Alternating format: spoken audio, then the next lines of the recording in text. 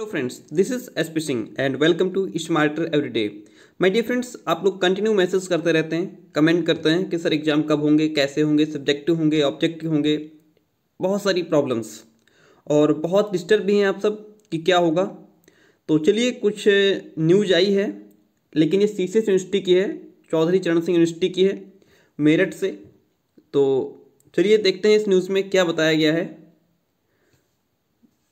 CCS university का परीक्षा schedule तय दो जुलाई से होंगी यूजी व पीजी की परीक्षाएँ। यहाँ पे तो ये बात कर रहा है यूजी व पीजी की परीक्षाएँ। ठीक है? और वहीं पे 10 से 30 जून तक ग्रीष्मकालीन अवकाश घोषित किया गया है। ठीक है?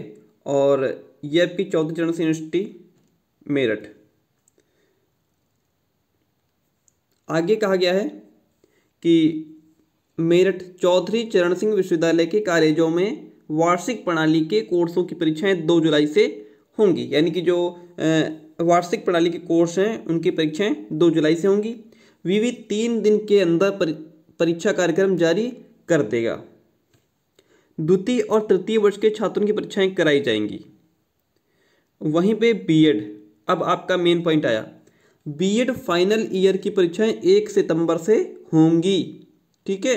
अब जो सी सी एस यूनिवर्सिटी के स्टूडेंट हैं बी एड सेकेंड ईयर के, उनको बिल्कुल कतई फ्री माइंड होकर के पढ़ाई करना है, क्योंकि उनकी डेट क्लियर हो गई है कि आपकी परीक्षाएँ एक सितंबर से होनी हैं। ठीक है? बाकी जो यूनिवर्सिटीज़ के स्टूडेंट हैं तो अब उनकी भी डेट जल्दी ही क्लियर हो जाएगी, क्योंकि जब एक यूनिवर्सिटी डिसीज़न ले लेती है तो दूसरी यूनिवर्सिटी को डिसीज़न लेने में आसानी हो जाती है। देखिए, वहीं सॉरी वहीं वीवी की तरफ़ से 10 से 30 जून तक कैंपस कॉलेजों में ग्रीष्मकालीन अवकाश घोषित कर दिया गया है। आगे पढ़ते हैं न्यूज़ को। फिर लिखा है, रजिस्ट्रार धीरेन्द्र कुमार वर्मा ने बताया कि 2 जुलाई से परीक्षाएँ कराने का पूरा कार्यक्रम बनाया जा रहा है। पहले से बनाए गए केंद्रों पर सोशल डिस्टेंसिंग के साथ परीक्षाएँ कराई जाएँगी। इनमें यूजी में द्वितीय और तृतीय वर्ष एवं पीजी में अंतिम वर्ष की परीक्षाएँ कराई जाएँगी।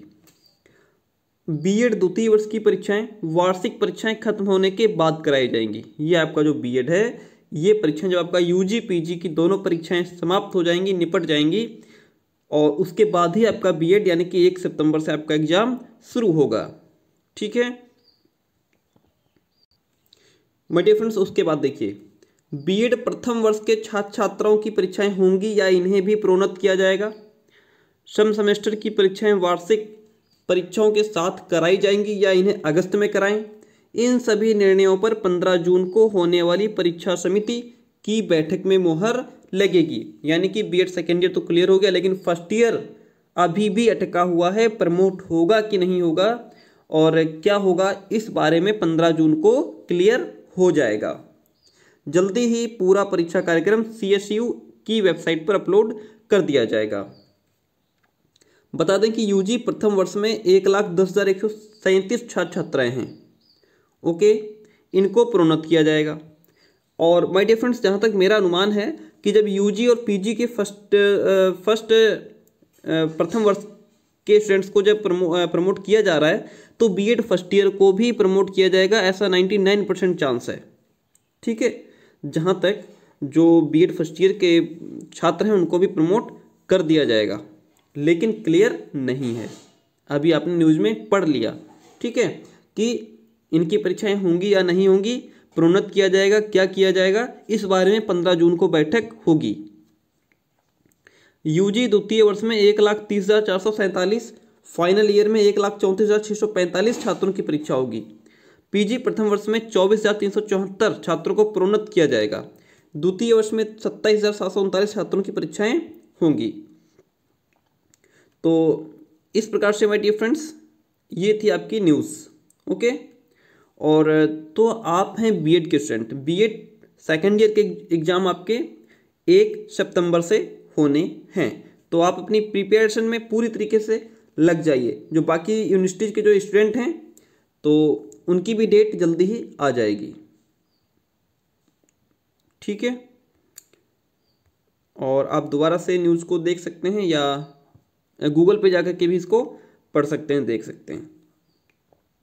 ठीक है? क्लियर हो गया ना? बीएड फाइनल ईयर की परीक्षाएँ एक सितंबर से होंगी। चलिए, अपनी पढ़ाई में बेहतरीन तरीके से लग जाइए। मैं और अपने जो टॉपिक्स हैं, उनको ज़रूर कमेंट में छोड़िए कि सर ये टॉपिक्स हमको क्लियर करवा दीजिए। ठीक है डियर स्टूडेंट थैंक यू मिलते हैं बहुत जल्दी नेक्स्ट वीडियो में।